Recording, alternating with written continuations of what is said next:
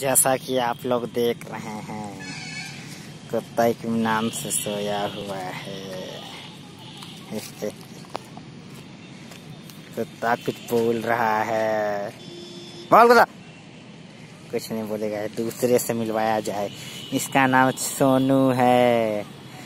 आपको दूसरे कुत्ते से मिलाया जाएगा। इसका नाम कलुआ है। जो कलुआ है।